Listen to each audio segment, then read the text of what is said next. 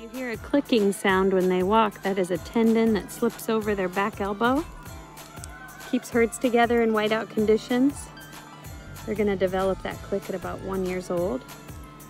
Baby's gonna know the sound of mama's click to stay with her and not get separated from the herd.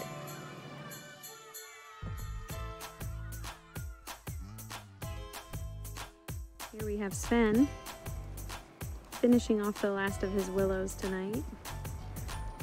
Enjoying a nice treat. And you can see how much lighter he's gotten this week working on that winter coat. All of that white hair hollow encapsulated like a polar bear for insulation and flotation. We've got Kristoff going through the back there of the frame and little Forest standing next to Sven.